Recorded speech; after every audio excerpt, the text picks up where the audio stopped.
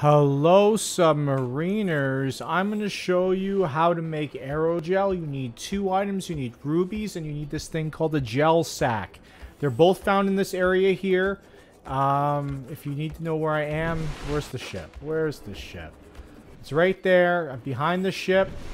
Uh, though I think this is also found in other areas. Uh, there's many areas that look like this. The way, the way you know you're in the right spot is if you find these kind of big blue orbs.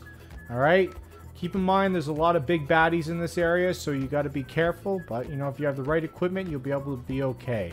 Alright, so we're going to be looking for rubies. Rubies are easy to find at this depth. Like, as, I, as you see, I found one right away. So there's a ruby.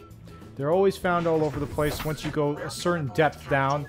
Once you're like at 200 meters down, you'll be finding rubies all over the place. It's the gel sacks that are kind of hard to find. I think they're around these gel things because I see one right there. Okay, so there's one right there. That's what they look like. You only need one of them to make what you need. Okay? So I'd recommend if you're in the area to grab like maybe five or six of them. Uh, because you're going to need aerogels for a few different things. But um, that's it, really. I think so. Yeah, here we go. There's some more right there. Oh, no, they're not. Those are other things. Damn it. Oh, well, they're kind of hard to find, so take a look around.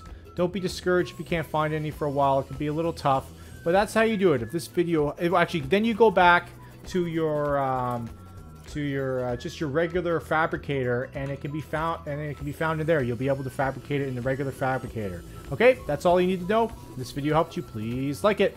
Don't subscribe to me.